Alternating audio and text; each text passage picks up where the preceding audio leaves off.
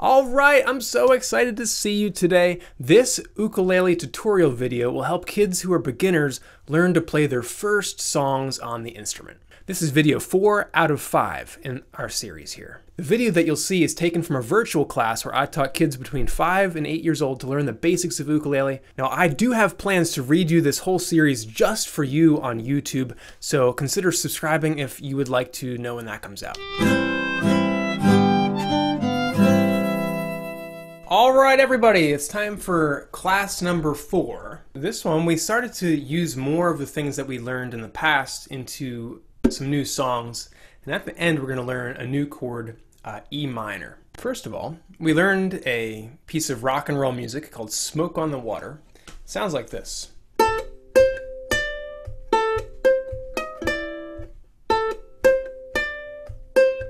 I like to bob my head or like stomp my foot when I play it.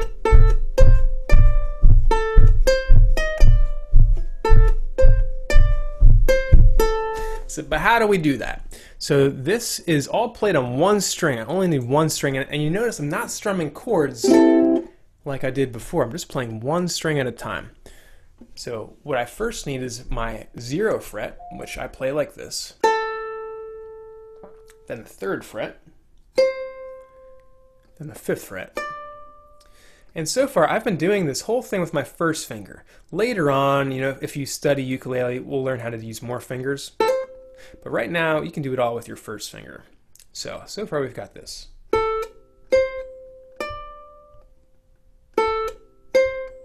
Six, five. We're just sliding back and forth there. Da-da. Then. I'm keeping my thumb on the back of the neck so that I can press hard enough. I can squeeze and I can get all those notes working. Otherwise, if my finger is flat, or my thumb isn't there, I'm not going to be able to press hard enough. So the curved finger, thumb on the back of the neck.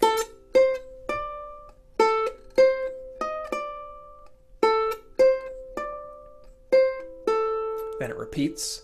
And what I'll do now, I'm going to put this on pause and I'm going to put up the paper on my screen so that you can see what this looks like in music. And you can even pause it here when you see that paper and give it a try. Okay, let's move on to the next item here. We learned a really good sing-along called Country Roads Take Me Home. It's got chords you already know, that's why I picked it. And it's actually the same as the song. The chords are the same chords in the same order as another song we did. And if you want to try to sing it, I'll show you how to do that. So the chords go like this. Uh, first is a C, four times. We'll do a G6. A minor, and an F, mm-hmm. and the words go like this. And I'll sing your notes. a little high for me, but I can do it. One, two, three. Country roads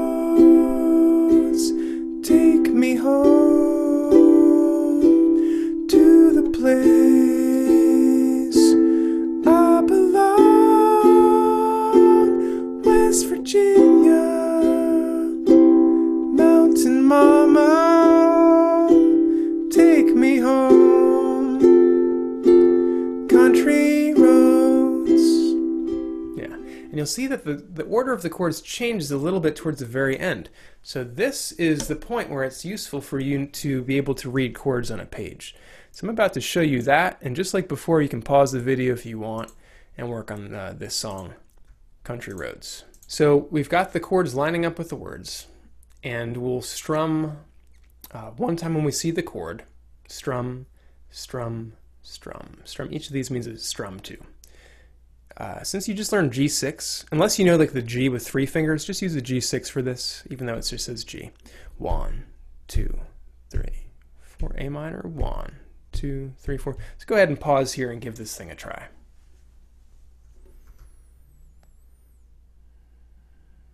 All right, friends. So those are the two things we did for the beginners. Now it's time to do the more advanced stuff. We learned a new chord, and we're putting it into a song. We're actually playing Count on Me uh, from Bruno Mars, but we're going to play more of the song, not just that little piece we learned. So what we've got to learn is a chord called the E minor. The way we play it is we start off with our C chord, But instead of using this finger like usual, we'll use this one. And we slide down to the second fret. We need one more finger before we have the chord.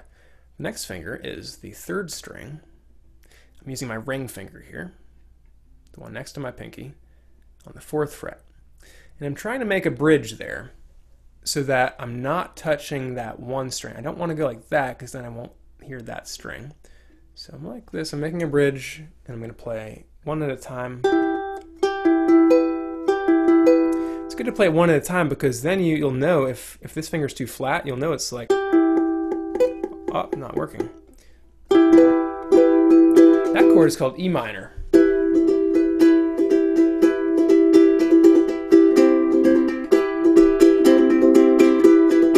Really fun to go back and forth between C and E minor. So let's do that a few times to get ready for the song. We'll do four C's. And again, I'm playing it with my first finger. Sometimes we'll use different fingers to make the, the same chord. One, two, three, four. One, two, three, four. Back to C. One, two, three, four. One, two, three, four. Might take a little practice. If this is a big stretch for you, uh, keep this finger close to the wire and this finger also close instead of like that because that's harder than it has to be. Yeah, it'll take a little practice, but you'll get it. Now, if we look at the song, which is the last thing we'll do in this video here. All right, so I'm going to show you some real, a real chord chart. Uh, but this is something that you'll see if you just look up a song on your own. So I want you guys to, um, to get used to this. So we're going to do each chord four times. We'll do a C, one, two, three, four. E minor, one, two, three, four, A minor, one, two, three, four. We're actually going to skip this one for now, and we'll do an F four times. So that's going to look like this. C, one, two, three, four, E minor, one, two, three, four, A minor, one, two, three. Skip that G, go to the F. If you ever find yourself stuck in the middle of the sea, I'll sail the world to find you. And then the next line's the same, so we're in luck. So that's called the verse. It's the um, it's the part where the words begin. Usually, the singer starts singing. So, guys, uh, sort of a longer class today, and we did a lot of stuff. Uh, but you guys are awesome, and uh, hope to see you next week.